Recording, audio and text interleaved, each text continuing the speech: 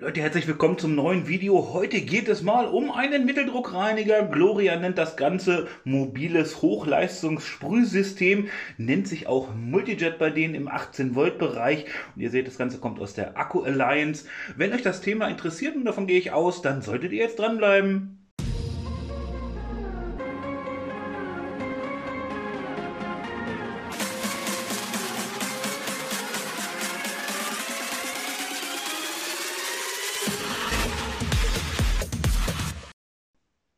Mitteldruckreiniger kämpfen sich immer mehr in die deutschen Heimwerkerstätten hervor und alle großen Hersteller haben eigentlich jetzt so einen Mitteldruckreiniger zu bieten.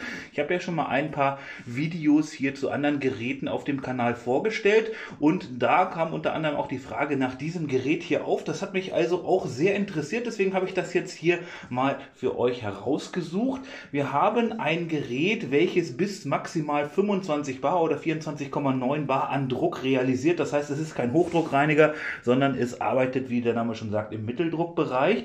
Und zwar könnt ihr hier, das ist die Besonderheit bei dem Gerät, ihr könnt den Druck hier auch mindern. Das heißt, ihr habt eine Einstellmöglichkeit von 2,5 Bar, 15 Bar und 24,9 Bar.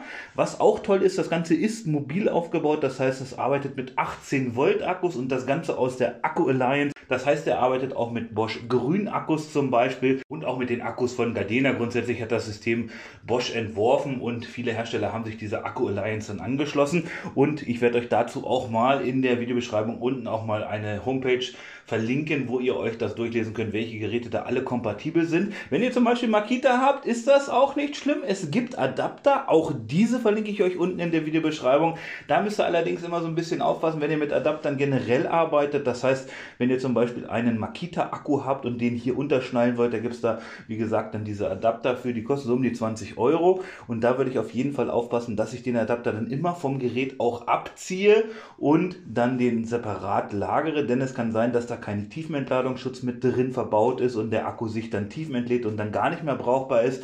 Da immer so ein bisschen vorsichtig sein. Und worauf ihr hier auch achten sollt, ihr werdet das gleich sehen im Lieferumfang, ist hier etwas dabei, um den Akku vor Feuchtigkeit zu schützen. Die diesen Schutz habt ihr dann natürlich bei diesem Akkuadaptersystem dann auch nicht. Grundsätzlich gibt es das System einmal hier mit Akku und Ladegerät, dann kostet es um die 150 Euro und ohne Akku, wenn ihr sagt, ihr habt Akku und Ladegerät schon alles daheim, dann wird das alles so um die 100 Euro liegen. Wenn ihr sagt, nee, mit Akku will ich gar nicht haben, gibt es das Gerät auch als 230 Volt Variante. Und was dieses dann kostet, könnt ihr euch alles unten in der Videobeschreibung abrufen. Da habe ich euch dieses Produkt natürlich dann auch verlinkt. Ich würde sagen, wir packen das mal aus und gucken uns das mal etwas genauer an. So, Gloria hat das so gemacht, die haben das etwas modular aufgebaut. Das heißt, es gibt hier einige Adapter auch für. Kommen wir erstmal hier zu der Bedienungsanleitung. Die könnt ihr euch im Vorab vielleicht schon mal runterladen, wenn ihr auf gloriagarten.de geht. Da müssten die Bedienungsanleitungen sicher auch da sein. Könnt ihr schon mal reinschmökern. Ich habe eben gesagt, das ist ein modularer Baukasten. Hier ist grundsätzlich nur ein Adapter mit dabei für die Düsen. Die Düsen übrigens auch in mehreren Positionen, 4 in 1, auch einstellbar. Wir werden das natürlich auch gleich noch alles ausprobieren. Es gibt das Ganze noch mit Pflanzenschutzset bzw beziehungsweise könnt ihr das extra kaufen. Ein Behälterset gibt es noch mit dafür, damit ihr so ein bisschen wasserunabhängiger seid. Einen Schaumaufsatz und einen Bürstenaufsatz gibt es noch mit dazu. Je nachdem, was ihr dann machen wollt, müsst ihr euch das dann noch dazu kaufen. Das ist jetzt auch nur 20, 30 Euro oder was kosten diese Sets. Alle unten auch verlinkt übrigens. Und da müsst ihr sehen, was ihr wirklich braucht. Finde ich super. Diese modularen Kästen sind immer ein bisschen besser, als wenn alles gleich dabei ist und irgendwas steht in der Ecke. So kann man sich dann das Benötigte tatsächlich noch dazu kaufen. Hier haben wir einmal das Gerät mit drin. Das packen wir erst erstmal zur Seite. Gucken wir erstmal hier weiter, was hier noch mit drin ist. Hier ist einmal Akku und Ladegerät mit dabei.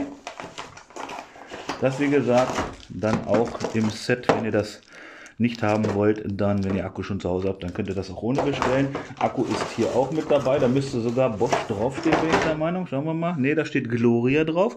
Und ihr seht, das meine ich hier mit dieser Ummantelung. Da ist so ein kleiner Gummipuffer mit dabei und der dient dafür, dass der Akku dann vor Feuchtigkeit geschützt wird.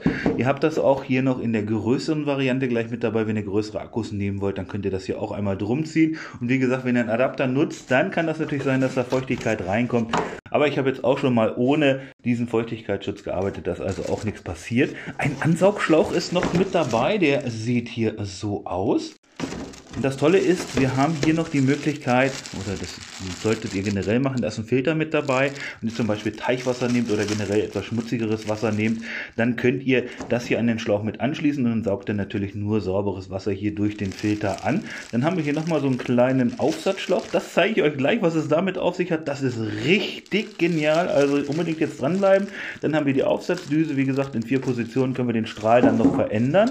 Hier der Schlauch, wie gesagt, es passen natürlich auch die normalen normalen Gardena-Adapter zum Beispiel drauf. Also die sind alle untereinander kompatibel. Wenn ihr da einen Gartenschlauch zum Beispiel auch anschließen wollt, dann funktioniert das auch. Grundsätzlich ist das Gerät allerdings auch selbst ansaugen und ist eigentlich grundsätzlich dafür konzipiert, das Wasser aus einem Eimer oder zum Beispiel aus Swimmingpool oder irgendwie aus einer Regentonne oder sowas anzusaugen. Dann haben wir noch eine Verlängerung mit dabei, die sieht so aus, dann könnt ihr hier vorne euren Düsenadapter draufbringen und dann könnt ihr etwas weiter wegarbeiten oder wenn ihr eine Schubkarre zum Beispiel auspusten wollt. Grundsätzlich sind ja diese Mitteldruckreiniger dafür da, dass ihr irgendetwas reinigt. Nicht jetzt unbedingt ein Auto, das macht man ja mit Hochdruckwäsche, aber wenn ihr jetzt mit einem Bike unterwegs seid, mit einem Mountainbike oder mit einem Quad oder irgendetwas und wart im Wald dann unterwegs und ihr wollt das dann verladen, dann kann man das mit so einem Mitteldruckreiniger, gerade weil der ja auch mobil ist durch den Akkueinsatz, dann direkt am Auto nochmal reinigen und dann erst verladen. So kommen wir dann mal zum Gerät selbst. Das sieht so aus in Form einer Sprühpistole. Sieht das aus, wie gesagt, ihr könnt hier vorne noch die Verlängerung draufbringen. Das ist hier übrigens sowieso ein Bajonettverschluss gelöst. Das heißt, diese Düse, die ihr hier in vier Positionen bringen könnt, die steckt ihr hier einfach einmal auf oder rein an der Stelle, wo sie dann auch passt. So, und dann dreht ihr das einmal und dann könnt ihr das hiermit dann koppeln und schon ist das Ganze fest. Und hier vorne könnt ihr dann verschiedene Möglichkeiten dann einstellen. Hier seht ihr, ist ein kleiner Pfeil drauf.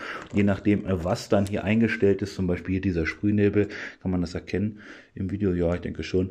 Und da könnt ihr dann das so einstellen und dann sprüht er dann in dieser Form heraus. Dann der Akku, der ist hier schon mal unter. Hier unten der ganz normale Schlauchanschluss und hier oben ist das Bedienfeld. Und hier habt ihr dann, wie gesagt, die Möglichkeit mit diesem Taster dann die Drücke nochmal einzeln einzustellen. Und hier oben seht ihr nochmal, wie stark der Akku noch geladen ist. Also dieser ist hier, sage ich mal, zu 80 Prozent gefüllt und das müsst ihr für die Präsentation auf jeden Fall noch hinreichen. Ich mache den mal an. Das ist jetzt wirklich sehr lasch. Machen wir hier mal ein bisschen mehr Dampf. Und da hört ihr schon, da fördert die Pumpe dann auf jeden Fall mehr. Sollten wir jetzt nicht unbedingt trocken laufen lassen, obwohl speziell ist es ja eigentlich auch dafür gedacht, dass er dann auch ansaugt. Und das probieren wir jetzt mal aus. So, dann schaut mal am Pool angekommen, da probieren wir das Ganze jetzt einmal aus. Wen noch Pool-Zubehör interessiert, zum Beispiel Poolroboter oder sowas, habe ich euch auch mal unten in der Videobeschreibung verlinkt. Da habe ich nämlich einige Videos schon so gemacht. Jetzt kommen wir hier mal zu der Besonderheit, die das Gerät noch bietet. Ihr könnt nämlich hier tatsächlich auch eine Flasche adaptieren, wie ihr hier seht. Der Adapter liegt mit dabei.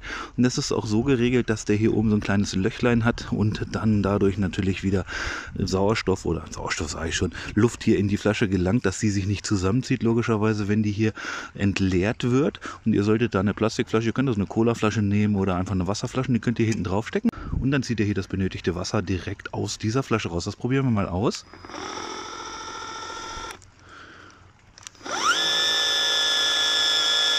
Schaut mal, das funktioniert also. Das ist jetzt hier dieser Blumengieß-Modus. Nehmen wir mal hier eine andere. Nehmen wir mal, nehmen wir mal hier den geraden Strahl.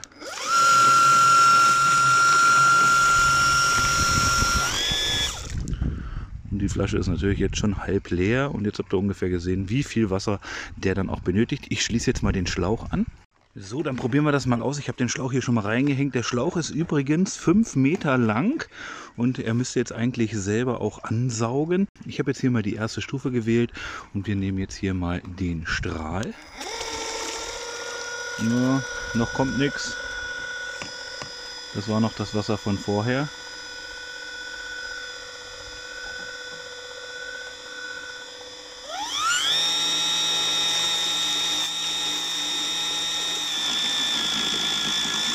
Okay, das ist jetzt also volle Pulle.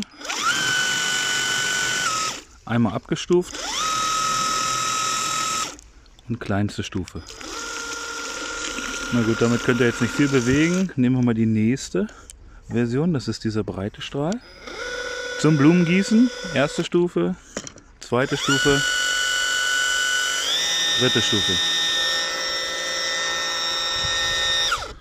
Nächste Version, Fächerstrahl, geringste Stufe, mittlere und höchste. Und der letzte Strahl ist einmal dieser hier, geringste Stufe. Das ist so eine Dreckfräse, möchte ich sagen. Mittlere Stufe und höchste Stufe. Ja, diese Stufe kennt ihr auch vom Hochdruckreiniger zum Beispiel und jetzt mit 25 Bar. Das ist also eigentlich genial, was der hier wirklich rauspumpt. Ihr habt gesehen, wie hier das Wasser fliegt. Und ich denke, ihr könnt euch da vorstellen, dass der Dreck dann, wenn ihr zum Beispiel eine Schubkarre sauber machen wollt oder Reifen von einem Mountainbike oder einem Quad oder sonst irgendetwas, dass das dann hier tadellos auch funktioniert mit dem Gerät. Ja, viel mehr kann ich euch jetzt gar nicht zeigen. Ich habe euch ja schon einige Anwendungsbeispiele mit den anderen Geräten gezeigt. Ihr könnt da ja mal in die anderen Videos auch noch mal reinschauen. Wie gesagt, das ist alles unten verlinkt und da könnt ihr euch dann noch ein paar Ideen holen. Ihr könnt auch gerne mal in die Kommentare schreiben, was ihr mit solchen Geräten hier grundsätzlich sonst alles erledigt. Das hilft, wie gesagt, alles nicht nur mir, sondern auch der Community, damit sich die Leute da noch ein paar Ideen sammeln können und dann vielleicht einen Anwendungszweck für ihren Mitteldruckreiniger dann auch noch finden. Wenn euch das Video ansonsten Spaß gemacht hat, wenn es euch gefallen hat, wenn es ein paar Fragen geklärt hat oder euch inspiriert hat, lasst mir gerne einen Daumen hoch da. Abonniert den Kanal, aktiviert das Glöckchen, nur so verpasst ihr nicht die nächsten Videos. Ich würde mich freuen, wenn ihr nächstes Mal wieder zuschaltet und sage bis dahin.